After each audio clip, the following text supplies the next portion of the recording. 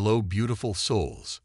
And because you've always been so highly empathic, it's like you absorbed all of that heaviness, all of that pain, all of that shadow into your being. And I'm hearing it's almost like you became like a filter for it.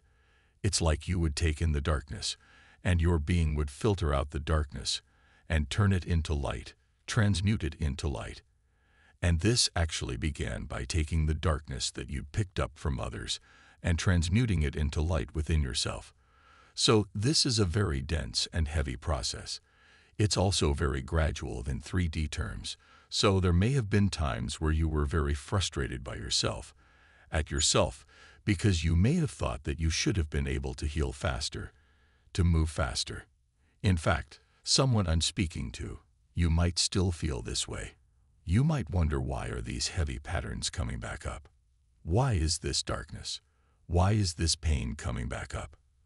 And know that it doesn't speak to a weakness within you, but a strength about you that was so profound at a deep core spiritual level and ancientness about you, so much so that you decided as this strong ancient soul that you are to take on much more heaviness and darkness and shadow than most people experience in order to begin transmuting it into light and know that this is one of the most challenging paths you can possibly take on as a soul, I'm hearing the word narcissist or narcissism. So, someone I'm specifically speaking to here may have attracted a lot of narcissists into their life, family-wise, friend-wise, and relationships. Or there may have been one specific narcissistic personality type that negatively impacted you in your life and caused a lot of this darkness or pain for you or you may have absorbed a lot of their darkness and pain. And again, take this as it resonates.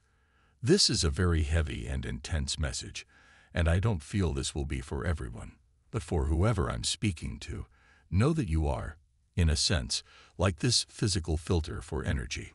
So, just like a filter has to be cleaned, you need that time to unravel, to unwind, to recharge yourself, because what I see is that when you go out and about in environments physically, when you put yourself around others, even if you are doing something that you would consider very mundane or very non-spiritual, quote unquote, although everything really is spiritual because we're spirit here having this physical material experience. However, I'm picking up you could be doing something as simple as grocery shopping, picking your kids up from school, taking your dog for a walk, going out somewhere with friends. But whenever you, again, I just keep hearing, touching your energy, being present with your energy is a privilege. And what I meant by that when I said that earlier is when you are out and about in spaces, places, environments around people, just your energetic presence there acts like this filter for darker, for heavier energies, from divine masculine. Type yes if you believe my beloved love.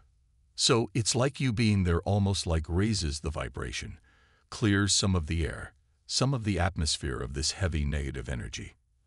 And that's what people mean when I feel you've had someone, possibly someone romantic, tell you that your smile lights up the room or your energy lights up the room, or that you're mesmerizing, or that when you walk into a room, things just look brighter or you just brighten people's day. Now, if no one's told you that, still know that it's true.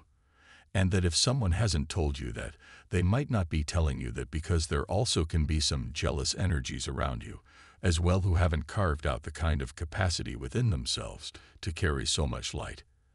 And they might be jealous of your light without realizing the amount of pain and hardship and shadow you had to experience to carve out this space for that light. I'm getting the word lucky. So other people might actually mistakenly look at you and just believe that you're lucky to either have what you have, to do what you do, or just to be so radiant. And so happy at times to carry this very light energy, whatever that means for you.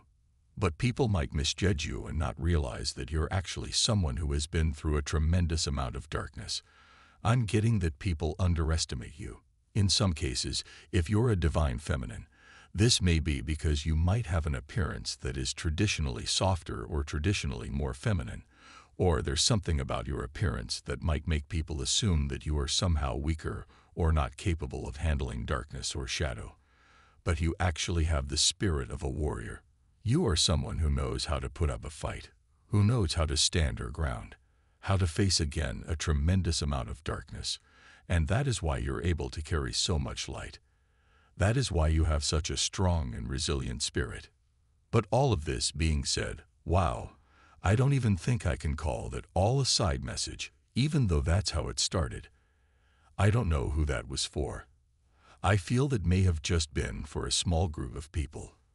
But if that was for you, I do hope that message reached you. I feel it was really important for someone to hear. If that message was for you as well, I would love to hear from you in the comments.